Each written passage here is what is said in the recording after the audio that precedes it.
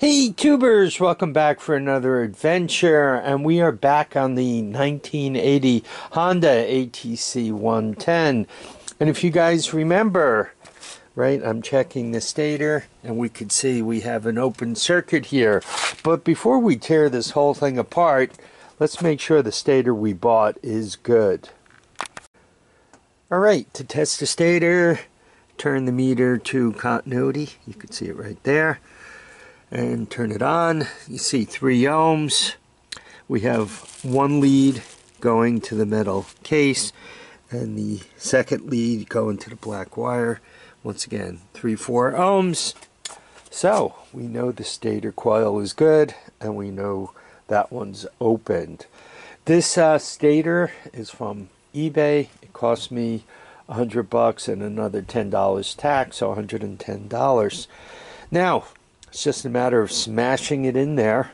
And hopefully, we don't have any surprises like the 1980 110 used the double backwards inverted crazy can never find stator which would make this one the wrong one and that means I don't have the right one sometimes on these old machines Honda's pretty good but some of the other brands it's uh, really a bear to get ignition parts.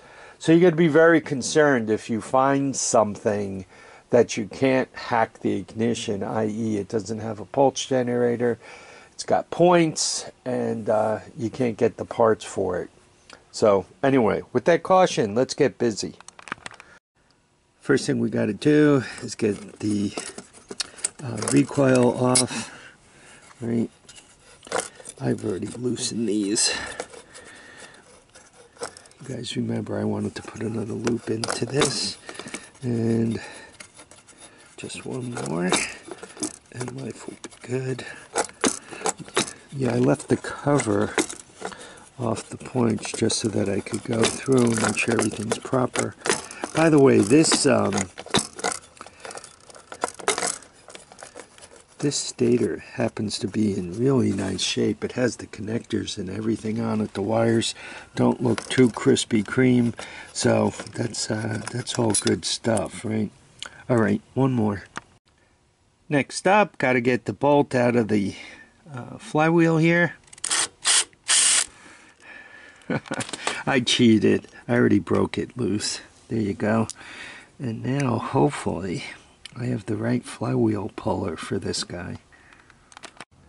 Time to pull the flywheel. Go through the trouble of investing in proper flywheel removal tools. If not, trouble. And if you look closely, you could see I already got that loosened up.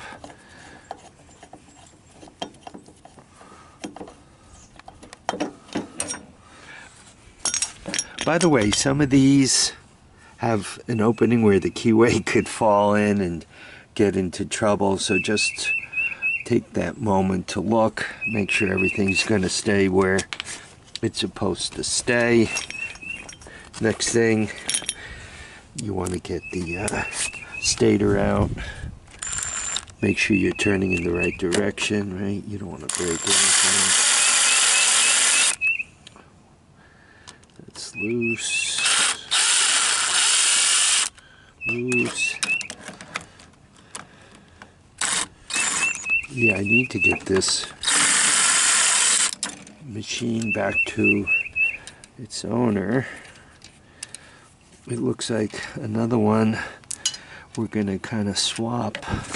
This one's going back to him. Oops.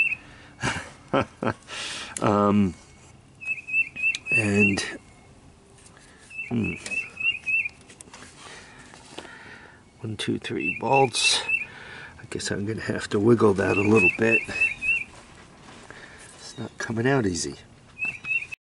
Wow, this uh, this stator won't come out for love nor money. I'm using a, uh, a puller on it to, to get it to come loose. Wish me luck here. I didn't expect a problem here at all. Success. I was looking at the new one I bought. and there um there is a bit of a witness mark. Let's see on the other side where he had to come in.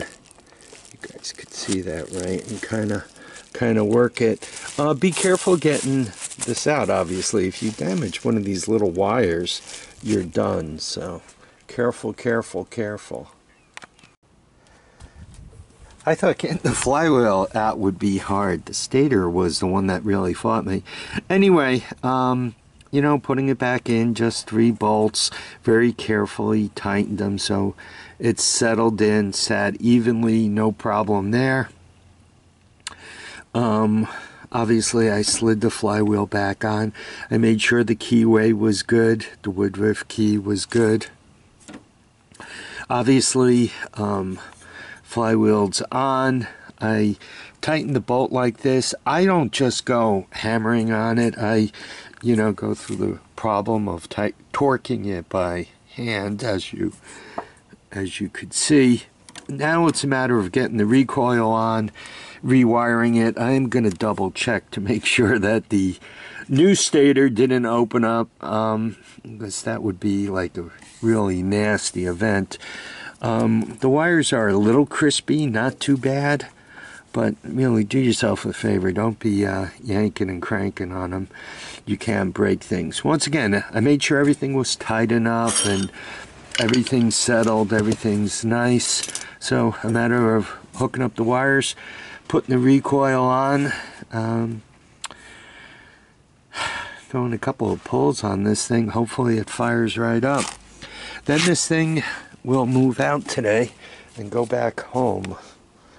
Um, if I had to fix these things for a living and actually make money at it, I would be dead. I uh, you you can't take weeks to fix one of these, and you really can't have one taken apart because no matter how big your shop is, if it takes weeks to fix every one of them, every lift you had, every workbench you had, every table you had, every toolbox you had, there would be parts everywhere, i.e., my problem.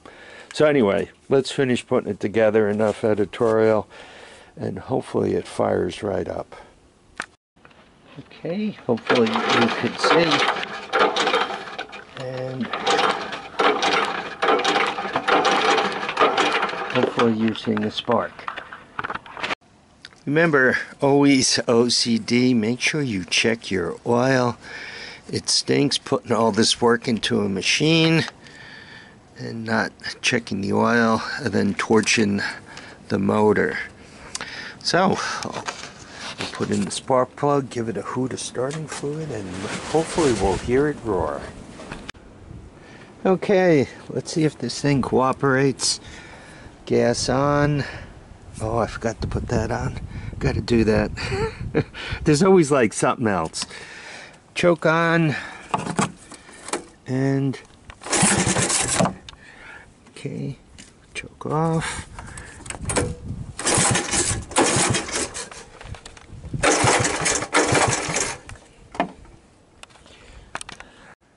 All right, let's see how I did.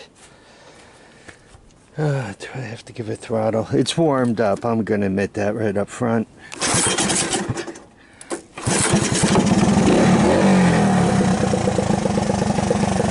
it's running a little rich.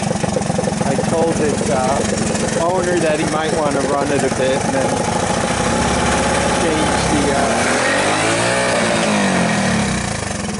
I turned the gas off. anyway, he might want to run it a bit before he, uh, um, and then clean the carburetor. Uh, you know, problem with these machines, I literally can spend the next several days on it.